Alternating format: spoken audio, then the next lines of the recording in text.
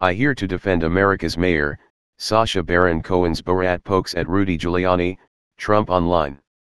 Rudy Giuliani was pranked into a compromising situation by Sacha Baron Cohen's journalist character Borat for a new movie. Now Borat himself has finally chimed in, defending President Trump's personal lawyer and the former New York City mayor with a Twitter video and unleashing jabs at his boss as part of a live online Q&A Thursday night. Jagshemash. I here to defend America's mayor, Rudolph Giuliani. What was an innocent sex time encounter between a consenting man and my 15-year-old daughter has been turned into something disgusting via fake news media, Borat says in the Twitter video, making a motion that his nose is growing a lot a lying Pinocchios. I warn you. Anyone else try this and Rudolph will not hesitate to reach into his legal briefs and whip out his penis. Giuliani has come under fire for a questionable scene caught on camera for Baron Cohen's sequel, Borat's subsequent movie film, delivery of prodigious bribe to American regime for make benefit once glorious nation of Kazakhstan, streaming now on Amazon Prime. In the movie, Giuliani is shown sitting for an interview in a New York hotel site with Borat's teenage daughter, Tutar, played by 24-year-old actress Maria Bakalova, and the two go into the bedroom for a post-talk drink. After Bakalova untucks Giuliani's shirt to get his mic, he lays down on the bed and puts his hand in his pants. Soon after, Baron Cohen, as Borat, bursts in wearing women's lingerie on his briefs to reveal the prank. She's 15, she's too old for you, he tells Giuliani. On Wednesday, when the scene, filmed in July during the pandemic, made headlines after reviews of the new film dropped and kerfuffle erupted on social media, Giuliani responded on Twitter calling it a complete fabrication. And on his radio show, Giuliani blamed the hit job on him obtaining a hard drive from a laptop purportedly belonging to Hunter Biden, son of Democratic presidential nominee Joe Biden, that allegedly documents business dealings in Ukraine. According to Giuliani, as the electronic equipment was being taken off in the Borat scene, some of it was in the back and my shirt came a little out, although my clothes were entirely on, he explained. I leaned back, and I tucked my shirt in, and at that point, they have this picture they take, which looks doctored, but in any event, I'm tucking my shirt in. I assure you that's all I was doing.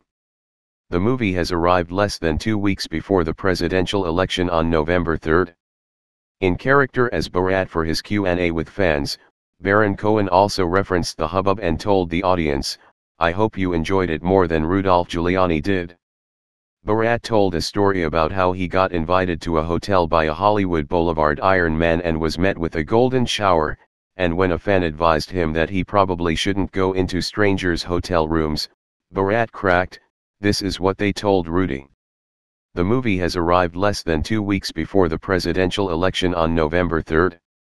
In character as Borat for his Q&A with fans, Baron Cohen also referenced the hubbub and told the audience, I hope you enjoyed it more than Rudolph Giuliani did.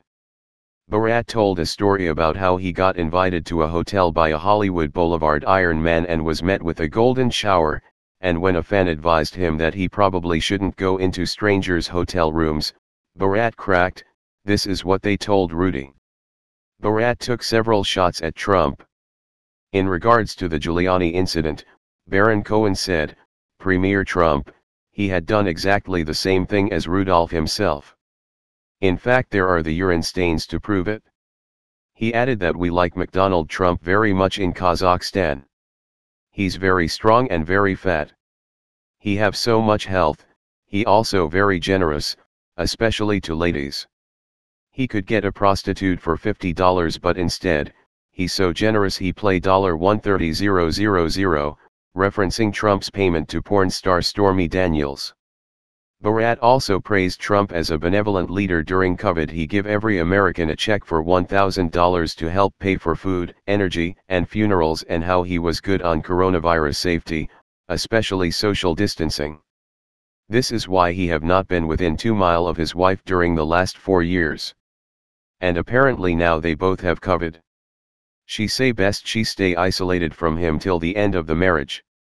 A fan asked Borat about Black Lives Matter, and Borat mentioned that his first wife was black and she moved to America because black people were treated like royalty, especially by the police. The cops here are so keen to make friends with black people that they stop their cars whenever they can to have a long chitty chat and they keep the names and the addresses of the black people so they can keep in touch.